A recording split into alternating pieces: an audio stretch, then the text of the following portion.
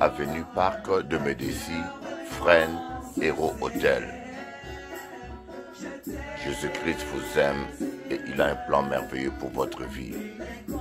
À Moule, dimanche à 7h15 au bourg du Moule, face à la CAF. Tapitre sur 3 rue Paul Lacavé, assainissement, dimanche à 9h. Venez recevoir votre guérison et votre miracle. Tous les samedis à 16h au 15 rue de la République à Bastère. Venez recevoir la parole de Dieu.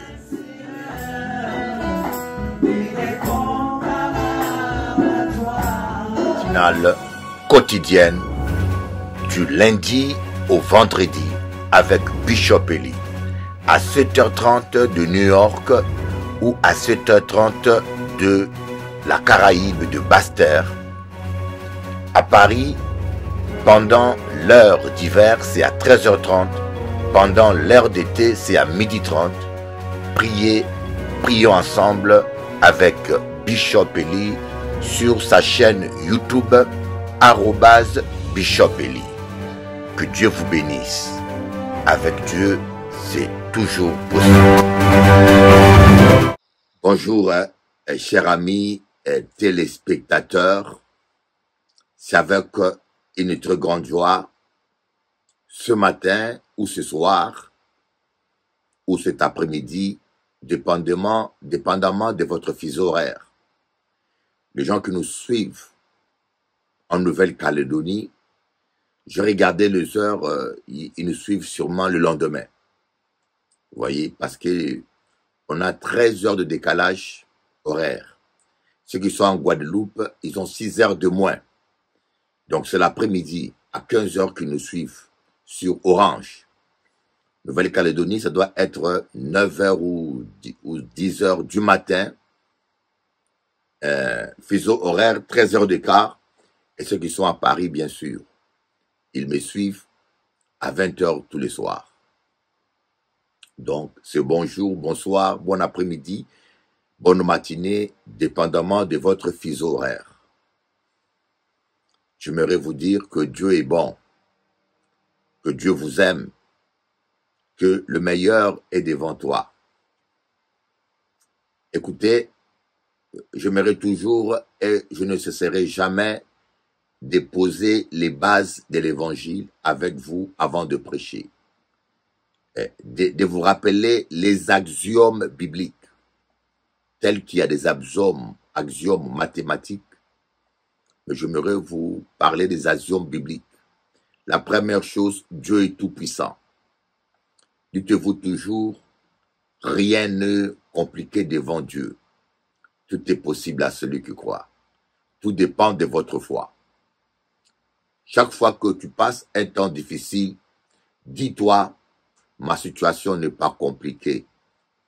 Devant ce Dieu qui a créé la terre et les cieux.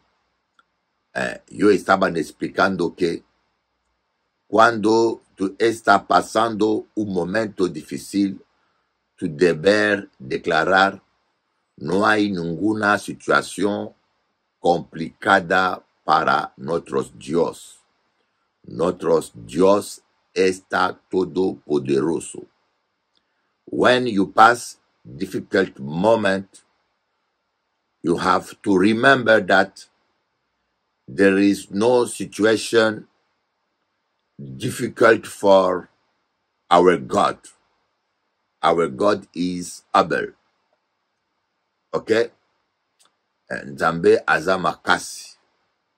Situation moko te eleki lié na mutu. Aza elonga. Nzambe no aza makasi petit. Bon Dieu fort, bon Dieu, un bon Dieu fort, capable. La situation n'est pas compliquée. Même quand tu vois pas la solution, même quand tu vois pas comment tu vas t'en sortir, il faut toujours confesser et déclarer, ma situation n'est pas compliquée devant Dieu. Même quand le médecin dit que c'est compliqué, même quand euh, la comptable ou le comptable dit que c'est compliqué, elle dit toi oui, c'est compliqué pour moi, mais c'est pas compliqué pour le Dieu qui a dit que la lumière soit et la lumière fut. Amen. Et, deuxième axiome euh, biblique, théologique, c'est que Dieu t'aime. Dieu t'aime. Voyez, des fois, euh, nous pensons que parce qu'on a jeûné, Dieu va nous aimer plus. Moi, j'ai entendu les gens dire, euh, j'aide beaucoup les gens, j'aide les malades, et donc je suis agréable à Dieu. On n'est pas agréable à Dieu par les œuvres. Simplement parce que notre sainteté à nous est une saleté devant Dieu. Notre sainteté à nous. Tu peux te croire juste, mais devant Dieu, tu, tu, n'es même pas juste. Par nos œuvres, on ne peut pas s'approcher de Dieu. On est saint par le sang de Jésus. On est saint par le sang de Jésus et surtout, on ne peut pas vivre la sainteté sans l'aide du Saint-Esprit. Voilà pourquoi la parole de Dieu parle de la sanctification du Saint-Esprit. Que le Seigneur vous sanctifie. Et voilà pourquoi dans Galates, l'apôtre Paul dit, marchez par l'Esprit et vous n'accomplirez pas les œuvres de la chair. Vous savez, moi, très longtemps, j'avais inversé. Je disais, ne marchez pas par, la chair et vous serez remplis du Saint-Esprit, donc vous marcherez par l'Esprit. Voyez, on n'est pas rempli du Saint-Esprit parce qu'on ne marche pas par la chair. On est rempli du Saint-Esprit parce que le sang de Jésus-Christ euh, nous a purifiés. Sinon, le Saint-Esprit ne serait, plus un don. Voyez, parce que le mot don veut dire faveur imméritée. Donc Dieu nous donne le Saint-Esprit, nous ne le méritons pas. Mais il nous le donne. C'est une faveur imméritée parce qu'il nous le donne à cause du sang de Jésus qui nous purifie. Et une fois que vous êtes rempli du Saint-Esprit, c'est le Saint-Esprit maintenant qui va vous aider à ne plus marcher dans la chair. Il va vous aider à vaincre l'envie, à vaincre la colère, à vaincre la jalousie. Oh, merveilleux Jésus. Je t'aime Seigneur. I love you. Je t'aime Seigneur. C'est ta présence que j'aime. C'est ta présence.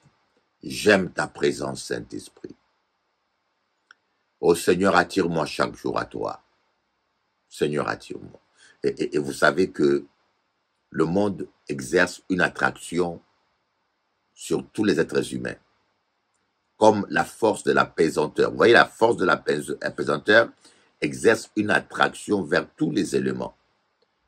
Vous voyez, de même, quand vous êtes sur terre, le monde va exercer une attraction. Et le Saint-Esprit aussi va exercer une attraction. Euh, Jésus-Christ dit, personne ne peut venir au Père si ce n'est pas le Père qui l'attire. Il y a une attraction. attraction divine. Je pense que c'est un mot que vous n'avez jamais entendu. Et, je t'avoue, c'est un concept qui n'est jamais sorti de ma bouche. Bien sûr, j'ai exprimé cette vérité d'une autre manière. Euh, c'est la première fois que le Saint-Esprit me donne ce mot, l'attraction, comparativement à l'attraction planétaire. Le Soleil exerce une attraction vers la Terre. Euh, il y a une attraction centripède et une attraction centrifuge les planètes sont en équilibre parce qu'il y a une attraction qui s'exerce entre eux. Et de même, dans le monde spirituel, le Père exerce une attraction envers nous. Il nous attire vers lui. De même, le monde aussi exerce une attraction. Le monde essaie de nous attirer aussi. Voilà pourquoi on doit toujours veiller sur nous, veiller sur notre trajectoire pour ne pas être attiré par le monde et se retrouver comme les gens du monde, dans les choses du monde. Et ceux qui se sont crus forts par eux-mêmes, ils sont tombés. Beaucoup de gens tombent parce qu'ils s'appuient sur eux-mêmes. Beaucoup de gens tombent parce qu'ils disent à moi, ça m'arrivera jamais, moi, jamais. C'est comme l'apôtre Pierre. Hein. Il a dit à Jésus, à moi, Seigneur, jamais. Jésus a dit, Pierre, avant que le coq ne chante trois fois, tu m'aurais régné. Avant que le coq ne chante, tu m'aurais régné trois fois. Pierre a dit, moi, Seigneur, ah, Jésus, là, faut pas connaître moi. Tu me connais pas, Jésus. Moi, jamais. Voilà pourquoi moi, je dis, je, suis, je dis jamais moi. Je compte sur sa grâce. Seigneur, tu sais que je compte sur ta grâce. Je compte que sur toi. Sans toi, je ne vaux rien. Et sans toi, je ne peux rien. Alléluia. Je compte sur sa grâce. Oui. Et ce n'est que grâce. Sans la grâce de Dieu, nous sommes tous foutus. Donc, Dieu nous aime. Il exerce une attraction. Voilà pourquoi tu dois toujours dire, Seigneur, ne laisse pas le monde m'attirer. Ne laisse pas l'orgueil m'attirer. Ne laisse pas. Aujourd'hui, tu peux ne pas voir l'amour de l'argent. Tu peux aimer Dieu plus que l'argent. Mais demain, le diable va exercer une attraction sans te rendre compte. Ton cœur va commencer à balancer plus vers l'amour de l'argent, vers l'orgueil, vers la vanité. Ah oui. Seigneur, garde-moi fidèle à toi. Troisième axiome, Dieu est amour. Troisième axiome, Dieu jamais ne t'abandonnera. Ça, Dieu, Dieu dit dans sa parole, jamais je ne t'abandonnerai et jamais je ne te délaisserai. Comme c'est un enseignement non préparé, je n'ai pas le temps de chercher les versets, mais vous savez bien, même sur Google, vous tapez jamais je ne t'abandonnerai et jamais je ne te délaisserai. Vous allez voir ce passage. Tu dis dans sa parole, jamais je t'abandonnerai, jamais je t'abandonnerai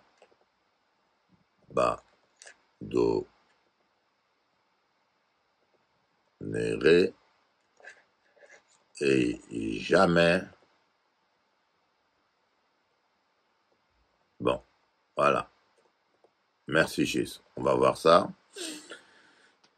Dans... Euh, voilà. Euh, oh, mais qu'est-ce qu'il me dit là? Dans, dans, dans Genèse, Genèse 28, verset 15, Dieu dit, Voici, je suis avec toi je te garderai partout où tu iras. Et, et, nous voyons, je cherche ce verset-là. Oh, ben je cherche ce verset. Euh, dans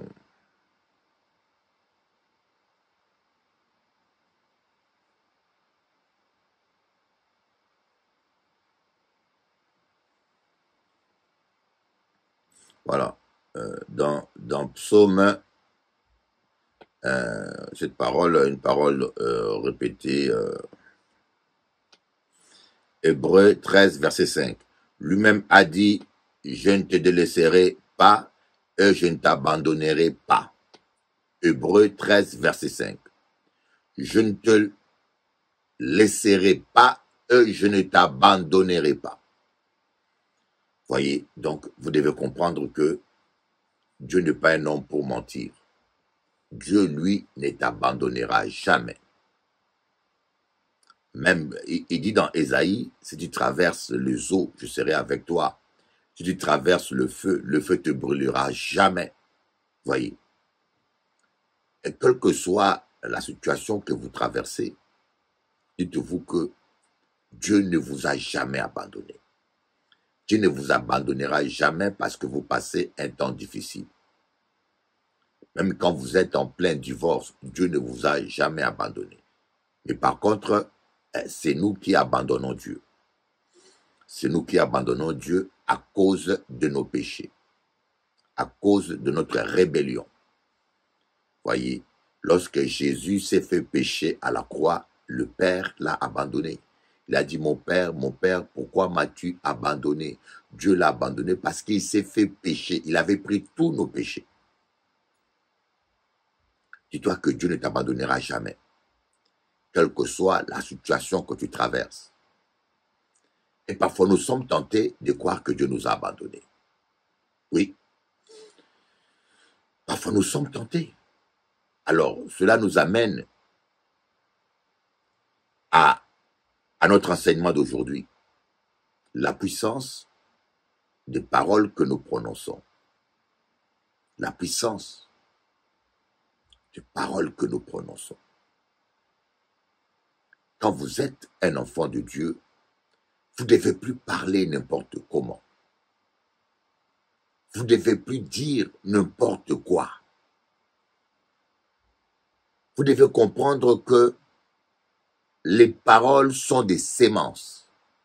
D'ailleurs, Jésus-Christ compare la parole de Dieu à des graines de blé, la parabole du semeur.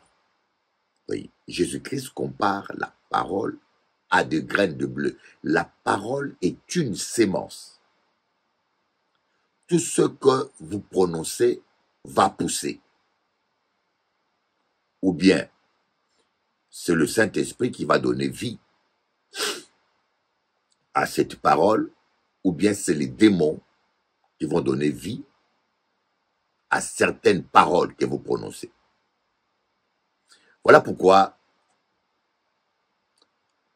euh, j'ai euh, mon ex-époux, mon ex-épouse, un jour elle m'a dit, un jour elle m'a dit, écoutez bien, avant de venir en Guadeloupe, elle avait vu une voyante. Cette sorcière lui a dit, tu vas te marier en Guadeloupe tu auras des enfants, après tu vas divorcer. Elle a cru à cette parole. Au moment où elle voulait divorcer, elle m'a répété, d'ailleurs une voyante m'avait dit que j'aurai deux enfants et après je vais divorcer. Voyez, quand vous croyez à une parole, vous donnez vie à cette parole en vous. Quand vous croyez à une parole, et vous la déclarez. Les voyants ne voient pas l'avenir. Je tiens à vous dire, d'après la Bible, parce que moi je m'appuie sur la parole de Dieu. Les voyants ne voient pas l'avenir. Dieu dit dans Ésaïe, je suis seul qui prédit, qui dit des choses à, à. Je suis seul. Dieu seul connaît l'avenir. Si Satan connaissait l'avenir, il n'allait pas faire les bêtises qu'il fait aujourd'hui. Et parce qu'il va en enfer, il va finir en enfer. Mais comme il ne connaît pas l'avenir, il s'entête. Il n'y croit pas du tout. Il pense qu'il va gagner le combat. Voilà pourquoi je vous dis, Dieu seul connaît l'avenir. Voyez, alors quand vous allez voir les voyants, il vous dit par exemple que votre fils va mourir par crise cardiaque. Très jeune. Vous croyez à cela. Parce que vous avez cru à cela, cette parole maléfique va s'accomplir. N'est-ce pas? Jésus-Christ qui dit dans sa parole qu'il te sera fait selon ta foi. Donc, quand tu crois à ce que le voyant te dit, quelque part, tu donnes vie à ces prédictions. Le voyant ne peut pas connaître ton avenir. Le voyant connaît ton présent et ton passé. Le voyant peut connaître ton présent et ton passé. Il peut te dire ce qui s'est passé dans ta vie parce qu'il lit ton esprit. Les démons qu'il a peuvent voir ton passé. Si tu n'as pas Jésus-Christ, il peut voir ton cœur. Il peut lire ton cœur. Si tu n'as pas Jésus-Christ, il peut lire ton cœur. Mais si tu as Jésus-Christ, il ne peut pas lire ton cœur. Parce que tu es couvert par le sang de l'agneau. Vous comprenez? Mais quant à l'avenir, les voyants ne, peuvent, ne voient rien. Mais des choses qu'ils vous disent, qu'ils vous prédisent, ce sont plutôt des malédictions qu'il vous lance. Il vous dit, vous allez mourir par accident. Et, si vous y croyez, l'esprit de mort donnera vie à cette parole. C'est pareil aussi pour Dieu. Dieu lui voit l'avenir. Mais il y a certaines bénédictions que Dieu vous donne. Si vous n'y croyez pas, elles vont pas se réaliser. Dans Hébreu 4, on dit, les promesses qu'ils ont reçues ne leur ont pas été utiles parce qu'ils n'ont pas mis foi à cette parole. La parole de Dieu, les promesses de Dieu ne leur servit de rien parce qu'ils n'ont pas mis foi à la parole. Donc, la parole est une sémence. Dites-vous que toute parole est une sémence. Et quand vous y croyez, elle, elle, elle ouvre une porte. Voilà pourquoi je vous dis. D'ailleurs, Salomon dit dans Proverbe, la mort et la vie sont au pouvoir de la langue. Celui qui l'aime en mangera le fruit. La mort et la vie sont au pouvoir de la langue. Celui qui l'aime en mangera les fruits. Faites attention. Écoutez bien votre avenir est dans votre bouche.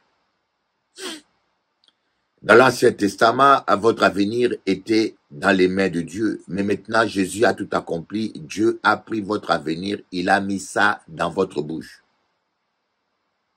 Vous allez vivre euh, ce que vous déclarez. Vous allez vivre euh, ce que vous confessez.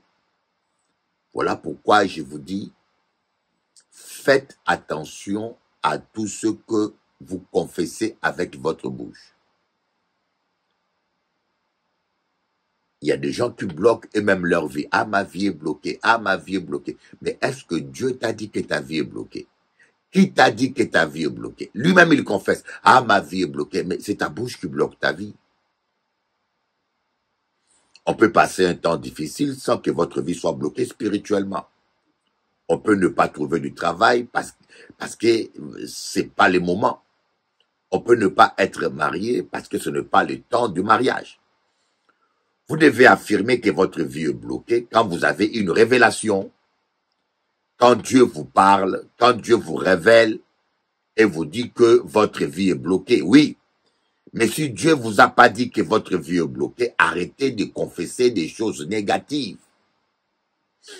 Aujourd'hui, les chrétiens prononcent tout le temps eh, des choses négatives. Ah, je n'ai pas de chance dans la vie. Je n'ai pas de chance dans la vie. Ah, je n'ai pas de chance dans la vie. Mais quand vous confessez cela, eh, eh, le peu de chances que vous avez, le diable va les voler. Il est un voleur. Il y a un, une sorcière qui a, qui a dit quelque chose. Il a dit, une sorcière, hein, elle a donné un témoignage, elle a dit, parfois elle marchait dans la rue, quand elle attend une mère insulter son enfant, elle profitait de cette parole pour capturer l'enfant quand une mère maudissait l'enfant de la colère, elle, la sorcière, elle profitait de cette parole pour capturer la chance, la réussite de l'enfant. Faites attention. Faites attention. La mort et la vie ne sont pas au pouvoir du sorcier. La mort et la vie ne sont pas au pouvoir des satanistes. La mort et la vie ne sont pas au pouvoir du médecin. La mort et la vie sont au pouvoir de la langue. Voyez, supposons que je passe toute ma journée à prier, Seigneur bénis-moi, Seigneur bénis-moi, Seigneur bénis-moi, donne-moi du travail, Seigneur. Et puis, je, me rappelle le jour où je cherchais une salle avec la sœur Florence. La sœur Florence, c'est une sœur qui m'a beaucoup aidé. Hein. qui m'a beaucoup aidé. Une métropolitaine, bien sûr. Très gentille. C'est une fille spirituelle que j'aime beaucoup, que j'ai chérie beaucoup. Et on roulait en voiture pendant qu'on cherchait une salle. Et elle me dit, ah, pasteur, Bishop, c'est dur, c'est dur, c'est difficile de trouver une salle à Paris. Ah, pasteur, c'est dur. Je dis, arrête de, déclarer la difficulté. Ça ne me m'étonnerait pas que nos démarches deviennent dures. Tu confesses que c'est dur. Ne déclare pas que c'est dur. Dis oui, c'est peut-être dur pour le monde, mais pour notre Dieu, c'est pas dur. Ce n'est pas dur. Et je suis convaincu que le jour où David disait, l'éternel est mon berger, je ne manquerai de rien, euh, sûrement David devait être en difficulté. Parce que David avait compris la puissance de la parole. Hein. Sûrement, David devait avoir son frigo vide. À l'époque, il n'y avait pas de frigo. Mais il a commencé à déclarer, à confesser, l'éternel est mon berger, je ne manquerai de rien. Il a compris la puissance de la parole. Le jour où David était devant Goliath, dans le monde, on dit, on ne vend pas la peau de l'ours sans l'avoir tué. Mais dans la Bible, on dit, on vend la, la peau de l'ours avant de l'avoir tué. Heureux celui qui croit sans avoir vu. David n'avait pas encore tué Goliath, qu'il était déjà en train de déclarer, et Goliath, tu es déjà mort. Les oiseaux du ciel vont te manger, vont dévorer ta chair. Toi qui oses défier le Dieu Tout-Puissant. Vous voyez, euh, euh, hier, quand j'étais avec Jean-François à la télévision, euh, il m'a pris une vidéo qu'il a envoyée au prêtre vaudou. Il a dit, lance ton défi. J'ai dit au prêtre vaudou, eh, tu dois accepter Jésus. Tu as besoin de Jésus pour être sauvé. Sinon, tu iras en enfer. Abandonne le vaudou et accepte Jésus. Et je ferai ta délivrance. Il a envoyé au prêtre vaudou. Après, il me dit, eh, mais pasteur, tu n'as pas peur de mourir. Tu n'as pas peur que ces gens te tuent. Je dis, mais, mais tuez-moi. Je suis invincible. Celui qui est à moi est plus fort que celui qui est dans ce monde. Et j'ai déclaré une parole. J'ai dit, si ces gens-là osent m'attaquer, c'est eux qui vont mourir. Oui, Bacha, l'un des plus grands sorciers qui était en Guadeloupe, a osé m'attaquer. Il a prononcé une parole contre moi et la même année, il est mort. Les, gens qui osent attaquer un enfant de Dieu, Dieu envoie, vous voyez, Saül, il est mort avec son propre couteau. Saül, c'est son propre couteau qu'il a tué. Il est mort avec son... Vous voyez, vos ennemis vont mourir avec leurs propres paroles. Faites attention. Quand quelqu'un maudit un enfant de Dieu, son propre couteau, sa propre parole va retourner contre lui. Je leur ai dit, faites attention à vous. Celui qui va oser m'attaquer, il se condamne lui-même.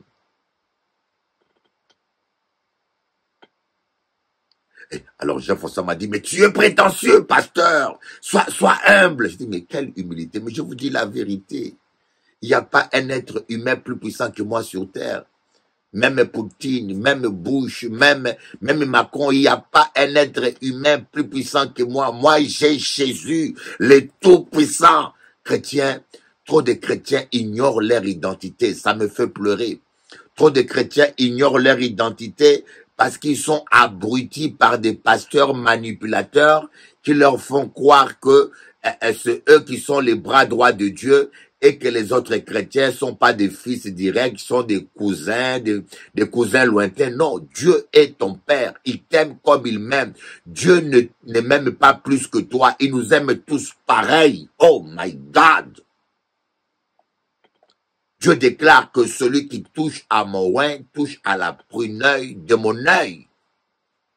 Mais sauf que il y a des choses, des principes que Dieu respecte. Il y a des principes que Dieu respecte et des fois Dieu est désolé, il ne peut pas se contredire. Dieu, il est fidèle, il est amour et il est fidèle. Donc la fidélité de Dieu à sa parole et son amour pour toi sont égal, équilibré. Dieu ne va pas contredire sa parole parce qu'il t'aime. N'oublie jamais ça. Dieu ne va pas contredire. C'est la raison pour laquelle euh, Jésus-Christ était venu prêcher la repentance à Israël, au mont des Oliviers, quand il a vu que le juif, les Hébreux refusaient d'accepter la parole, il s'est mis à pleurer. Le Créateur qui pleure. Je ne sais pas si vous comprenez eh, eh, eh, cet événement est choquant. Le Créateur Jésus-Christ qui commence à pleurer. Et pourtant, il est le Tout-Puissant. Et il pleurait sincèrement. Hein. Jésus a pleuré deux fois. Jésus a pleuré deux fois. Au mont des Oliviers et devant Lazare. ah, mon petit. dit petit. dit petit. Kwanga yambanza boma. Bikedi. Miligita. Jésus a pleuré deux fois. Devant Lazare et devant le cadavre de Lazare et devant Jérusalem, au mont des Oliviers. Vous vous rendez compte? Il est le Tout-Puissant. Il peut dire un mot. Il a dit aux soldats qui sont venus l'arrêter, je peux appeler mon père, il m'enverra des myriades d'anges. Le problème serait réglé. Quand on est venu l'arrêter, il a dit, tu ne prends pas ma vie par ta force, c'est moi qui te la donne. Tu me laisses prendre. Parce qu'il suffit que j'appelle mon Père. Il envoie des myriades d'anges. Croyez. Mais pourquoi il n'a pas appelé? Parce qu'il est fidèle à ses principes. Voilà pourquoi vous ne devez pas agir n'importe comment. Si vous donnez accès aux démons, Jésus va laisser les démons entrer. Il peut pas, il peut pas se contredire. C'est pour ça que l'apôtre Paul dit ne donnez pas accès aux démons. Ne croyez pas que tu peux faire n'importe quoi parce que Dieu est amour. Non, non, Dieu respecte ta parole. Donc, si Jérusalem s'était repenti, Dieu aurait pu épargner Jérusalem de la destruction de Jérusalem par l'Empire romain. Mais comme ils ont refusé, Jésus s'est mis à pleurer. Il montait les monts Oliviers en pleurant. Il a dit Jérusalem, Jérusalem, toi qui lapides ceux qui te sont envoyés. Combien j'aurais voulu te rassembler comme une poule rassemble le poussin, mais vous l'avez pas voulu, il s'est mis à pleurer. Parce que prophétiquement, il avait vu comment les Romains allaient détruire Jérusalem. Il avait vu comment les Romains allaient brûler, violer les femmes, tuer les femmes.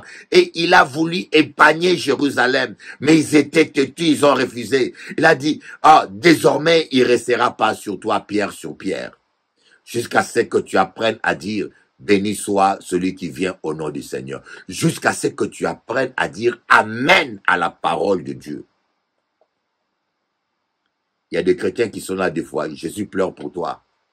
Ma fille, ma fille, combien j'aurais voulu te protéger. Combien j'aurais voulu t'éviter cette maladie. Combien j'aurais voulu te faire prospérer, t'éviter la pauvreté. Combien j'aurais voulu t'éviter ce divorce. Tu n'as pas voulu. Tu n'as pas voulu.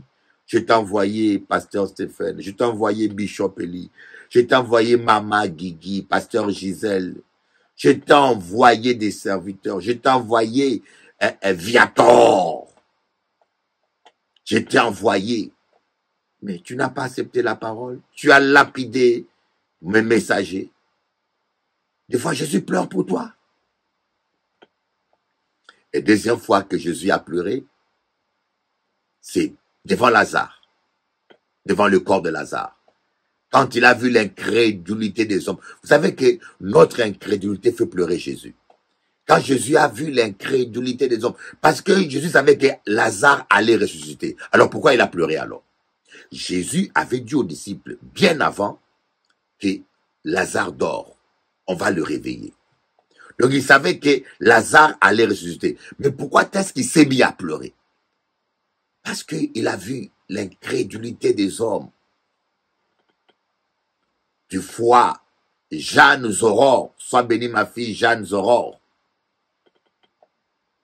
Des fois, Dieu pleure. Des fois, Dieu peut te guérir, mais il ne peut pas le faire si tu doutes. La Bible dit, un tel homme ne pense pas qu'il peut recevoir quelque chose de la part de Dieu quand tu doutes.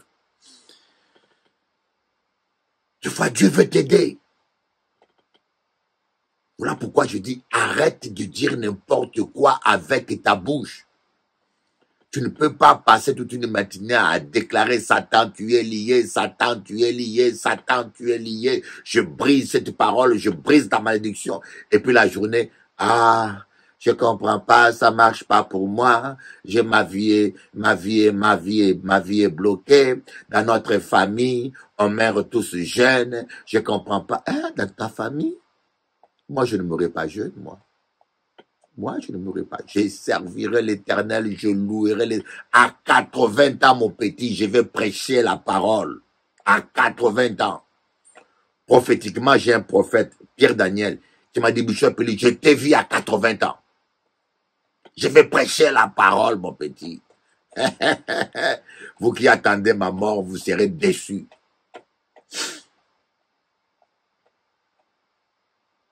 Confessez la parole, déclarez la parole, arrêtez de déclarer des choses négatives.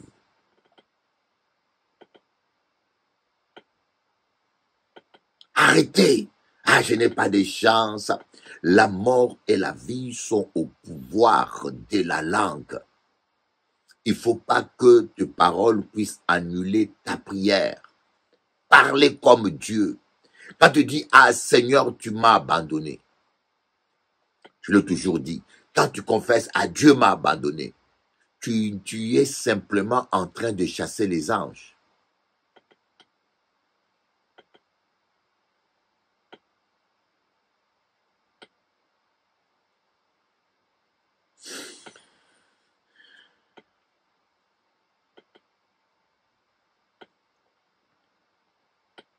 Vous pensez que on viole les enfants innocemment? Il y a des raisons spirituelles qui expliquent cela. Il y a des raisons spirituelles qui expliquent cela. Il y a certaines malédictions. Mais Dieu, il est celui. Si vous avez été violé, si vous avez été abusé, laissez le Saint-Esprit vous restaurer. Laissez le Saint-Esprit vous guérir. Tournez-vous vers le Saint-Esprit et demandez-lui de l'aide. Par tes paroles, tu seras condamné. Et par tes paroles, tu seras justifié. Nous avons trop un langage négatif aujourd'hui. Nous avons trop un langage négatif.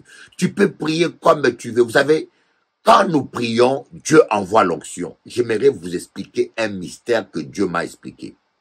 Quand nous prions, Dieu envoie l'onction. Quand nous parlons, l'onction agit dans une direction. Quand je prie, Dieu envoie l'onction. Et quand je parle, l'onction agit. Voilà par exemple, je prie pour la guérison. Dieu envoie l'onction de la guérison en moi. Quand je confesse la maladie, l'onction ne fait rien. Il y a beaucoup de gens, on leur impose le même. Vous voyez déjà des fois, tu leur imposes le main, ils tombent, ils sont guéris. Ils, ont, ils reçoivent l'onction de guérison, mais ils ne sont pas guéris. Il y a beaucoup de gens dans nos assemblées. Vous les imposez les mains, ils tombent. Ils reçoivent, ils, reçoivent l'onction de guérison sans recevoir la guérison. Pourquoi? Parce qu'au fond d'eux, ils ne confessent pas la guérison. La femme qui avait la perte de sang confessait la guérison.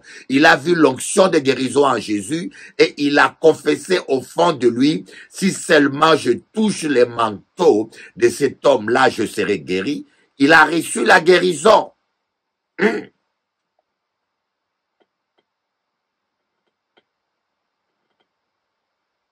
Je déclare au nom de Jésus que tu es béni.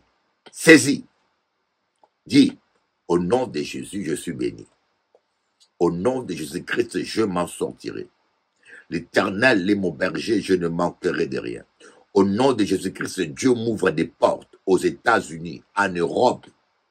Au nom de Jésus, Dieu m'ouvre des grandes portes dans la musique, dans la louange, dans la prédication. Au nom de Jésus, Dieu me donne plus qu'assez. Il me donne beaucoup d'argent. Ah, moi, j'en ai besoin. Beaucoup d'argent. Afin que j'aide les chrétiens qui sont incrédules et fauchés. Fait, que j'aide certains pasteurs intègres, mais qui sont fauchés parce qu'ils n'ont pas la foi dans la prospérité. Seigneur, donne-moi des millions, des millions que tu m'as promis. Hmm. Tu m'as promis beaucoup d'argent, beaucoup. Je vous dis, hein, je vous donne un témoignage. Tous les hommes d'affaires que Dieu a mis sur mon chemin me parlent toujours en millions. Je vous dis la vérité. Tous les hommes d'affaires que Dieu met sur mon chemin, devant Dieu, je vous parle, certains me suivent là, ils connaissent, me parlent toujours en millions, ou ils veulent acheter un truc, 100 millions, ils veulent vendre un truc, 100 millions, 30 millions, 400 millions. Je dis, mais mon Dieu, mais qu'est-ce que c'est ça? Toujours des millions dans mes oreilles. Hein? Toujours des millions. Parce que Dieu veut me bénir en millions.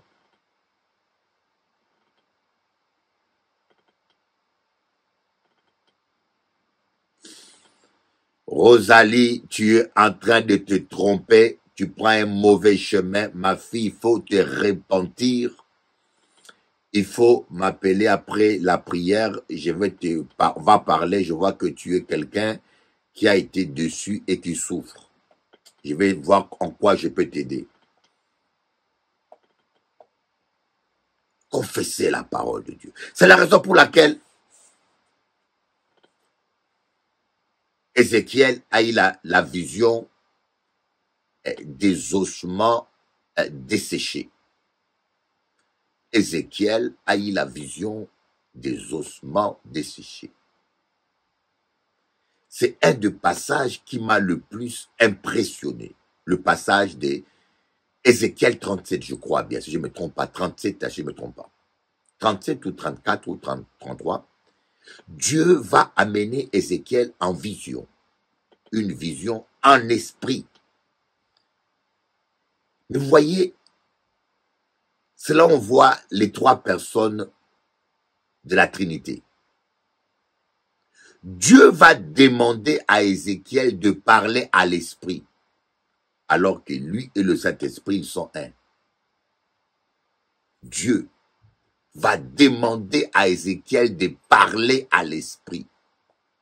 Premièrement, pourquoi Dieu lui-même n'a pas parlé à l'esprit?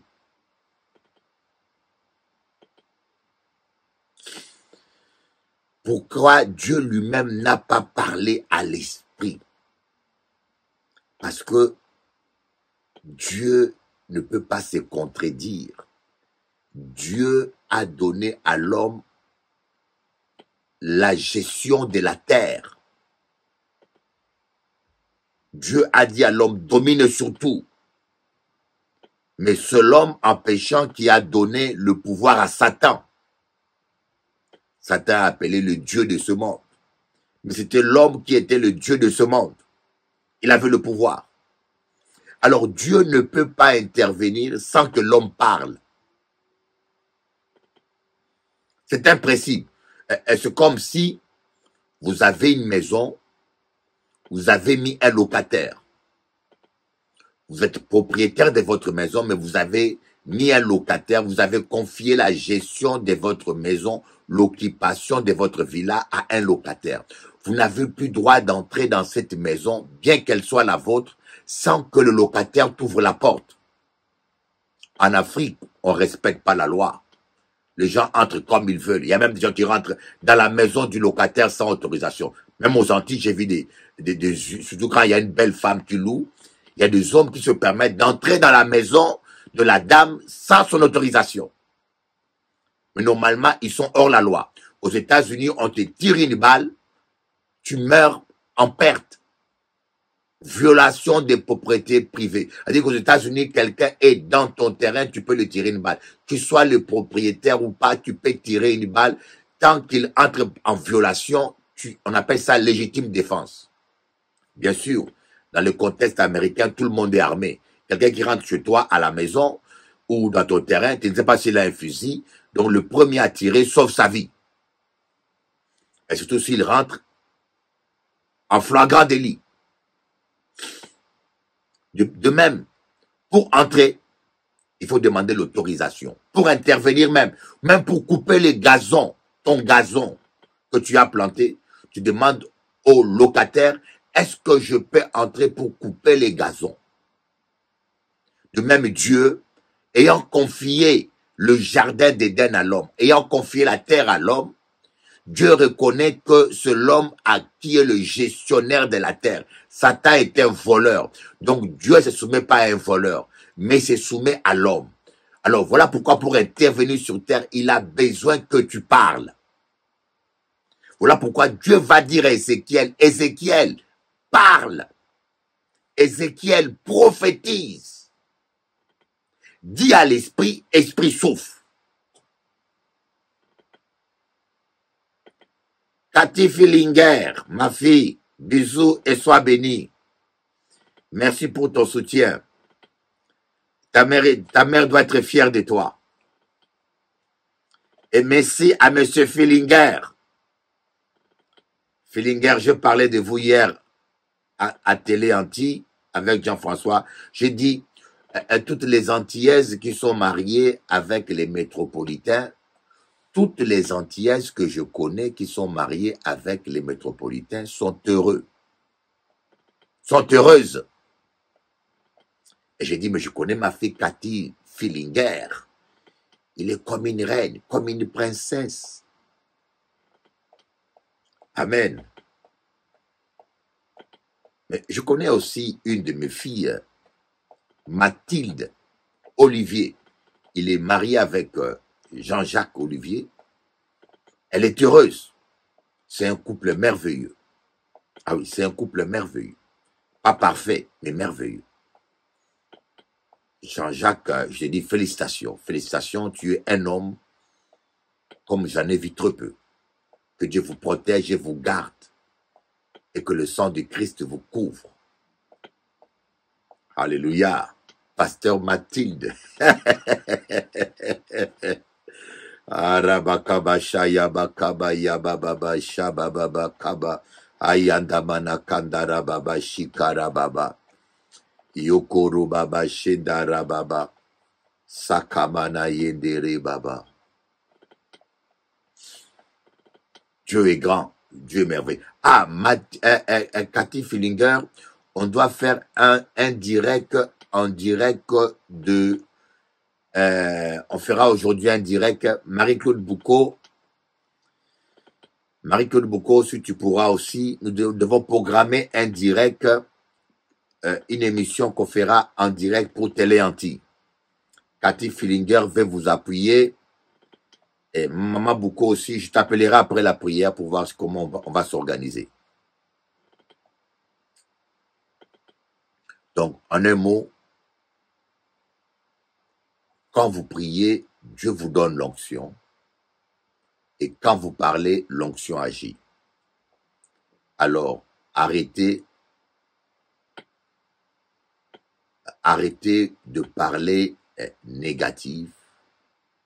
Arrêtez de déclarer des paroles négatives.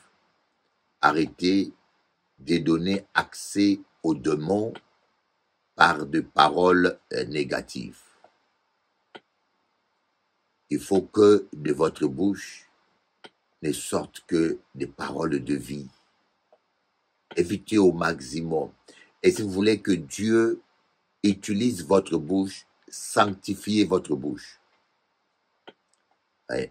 Comme dit l'apôtre Paul à Timothée, dans une maison, il y a plusieurs sortes de vases, des vases d'argent et des vases d'argile et des vases d'or. Des vases d'argile pour un usage vil et des vases d'or pour un usage noble. Si quelqu'un se sanctifie, il sera un instrument d'usage noble. Voyez? Si quelqu'un se sanctifie, sanctifiez votre bouche. Et votre bouche deviendra comme la bouche de Dieu. Vous allez vivre de merveilles. Ma chérie, mon fils, ma fille, Dieu t'a pas placé sur terre pour souffrir. Dieu t'a pas placé sur terre pour galérer. Sinon, il serait pas bon. Dieu t'a pas placé pour que tu vives chagrin sur chagrin, non. Prends ton envol comme un aigle. Certains chrétiens sont comme des aigles qui sont trop habitués à vivre avec des canards. Ils finissent par être canardés par des canards dans la canaille des canetons. Certains chrétiens sont comme des aigles qui sont nés parmi les canards. quand tu prends un œuf d'aigle, tu le mets avec les canards, le canard le, le réchauffe, et quand l'aigle, l'aiglon naît, il sait pas qu'il est aiglon, il n'a pas de miroir, il se prend pour un canard. Et il risque de finir dans la canaille des canetons canardés par des canards. Voyez? Et fois, nous, nous avons tendance à prendre la boue, à manger la boue comme des canards. Dieu, toi, toi, fils prodigue, il y a beaucoup de fils prodigues là. Tu dis, je vais tout le temps à l'église. Oui, tu, vas tout, le temps à l'église. Oui, mais c'est pas l'église qui sauve. Dieu te veut dans la maison. Tu as quitté la maison. Tu as quitté la parole. Vous voyez, beaucoup de pasteurs, quand ils prêchent la parabole du fils prodigue, et il compare la maison du Père à l'église. Non, la maison du Père n'est pas une église. Voyez, la maison du Père n'est pas dans une, c'est pas une église. La maison du Père, c'est la parole, mes amis. Le fils prodigue, on a beaucoup de fils prodigues qui viennent à l'église, mais qui ne sont pas dans la parole. On a beaucoup de fils prodigues qui prêchent l'évangile, mais qui ne vivent pas la parole. Jésus a dit, si mes paroles demeurent en vous et que vous demeurez dans mes paroles, demandez tout ce que vous voudrez et cela vous sera accordé. Le fils prodigue était toujours dans son église, mais il avait quitté la maison du Père. Il avait quitté la parole. Beaucoup de chrétiens viennent à l'église, parlent en langue, chassent les démons, prêchent la parole, mais ils ont quitté la parole. Revenez dans la parole, fils prodigue. Voilà pourquoi beaucoup parmi nous mangent les caroubes destinés aux cochons. Beaucoup parmi nous mangent des caroubes, sont dans la galère. Nous gaspillons notre énergie, notre temps. Au lieu de rentrer en nous-mêmes pour se repentir, nous passons le temps à accuser Dieu. Nous passons le temps à accuser les pasteurs. Nous passons le temps à changer d'église. Il n'y a aucune église qui a la solution pour toi. Il n'y a aucun pasteur qui a la solution pour toi. La solution, c'est Jésus-Christ. Retourne à la parole, enfant prodigue. Ne crois pas tous ces marchands de rêves. Et vous dites, moi, si je t'impose le main, ta vie change. Moi, si je prophétise, ah, je vois, tous, tous mes frères africains là, les faux prophètes là, qui voient toujours des sorciers partout. Il y a un sorcier, vous, vous voyez tout le temps des sorciers, des sorciers. Enseignez le peuple de Dieu. Les sorciers ne peuvent pas toucher un enfant de Dieu qui ne donne pas accès. Hein? Les sorciers sont vaincus, les marabouts sont vaincus, les malédictions sont brisées. Quand vous êtes dans la parole, rien ne peut vous toucher. Enseignez ça au lieu d'abrutir les gens avec vos, fausses révélations, diable, diable, diable, sorcier, sorcier, Satan, Satan, les sorciers, saoulez les gens. On vient, parlez-moi de Jésus. Vous parlez tout le temps des gens des sorciers, sorciers, sorciers, midi 14 heures sorciers. On est fatigué.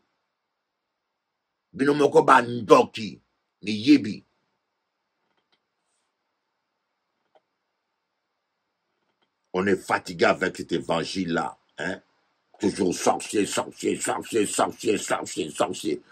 Or, dans les bibino, les yibi, des voleurs. Voilà, je suis arrivé à la fin de mon émission. Vous allez écouter quelques chants de louanges.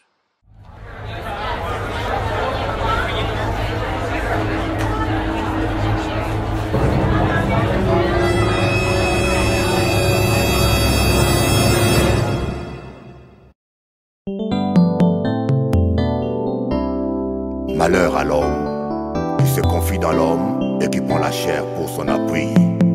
Et l'homme qui se confie en l'éternel. Il m'a promis l'héritage après ce mot, ça s'est pas réalisé. Les paroles des hommes sont éphémères, l'on n'est qu'humain. C'est ça la nature de l'homme. Aujourd'hui il dit oui, demain il change non. maloba moto eza kaka moto. Nzambe nde nzambe. Abongwanaka te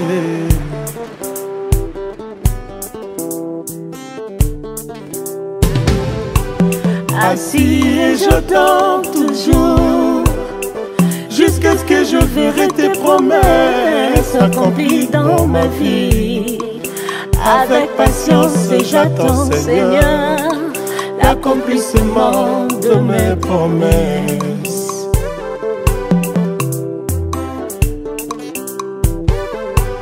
Assis et j'attends toujours Jusqu'à ce que je verrai tes promesses accomplies dans ma vie.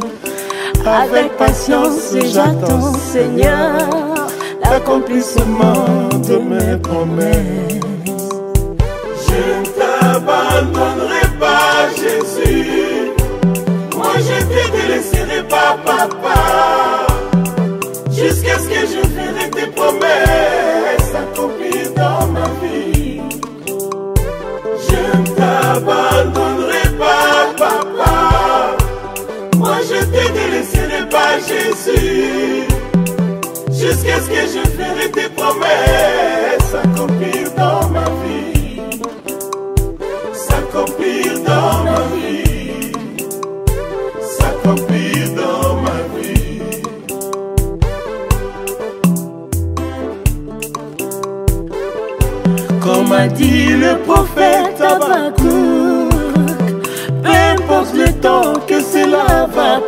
J'attendrai toujours. Comme un Siméon je ne mourrai pas Jusqu'à ce que je vivrai la promesse. Comme a dit le prophète Habakkuk Peu importe le temps que cela va prendre Mais j'attendrai toujours. Comme Siméon, moi je ne mourrai pas Jusqu'à ce que je vivrai la promesse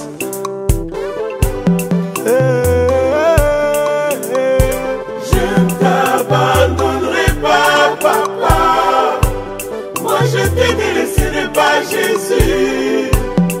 Jusqu'à ce que je ferai tes promesses accomplir dans ma vie. Je l'attends impatiemment S'accomplir dans ma vie. Jésus, l'amour de ma vie S'accomplir dans ma Toi et moi jusqu'au ciel S'accomplir dans ma lolango S'accomplir dans ma vie. basanga aimo aimo lele S'accomplir dans ma vie. Ize otikanga bolingo asuka komba fafa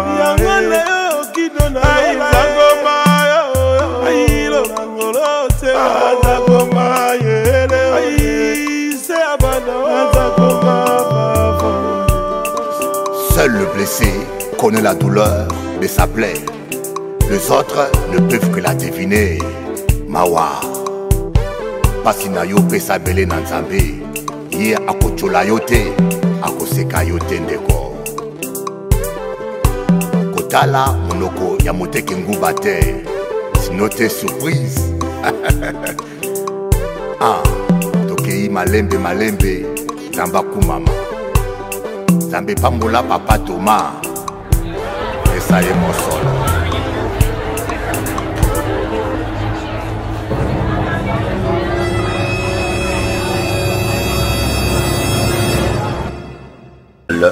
quotidienne du lundi au vendredi avec Bishop Eli à 7h30 de New York ou à 7h30 de la Caraïbe de Basse-Terre. À Paris, pendant l'heure d'hiver, c'est à 13h30. Pendant l'heure d'été, c'est à 12h30. Priez, prions ensemble avec Bishop Eli sur sa chaîne YouTube Bishop Eli. Que Dieu vous bénisse. Avec Dieu, c'est toujours possible.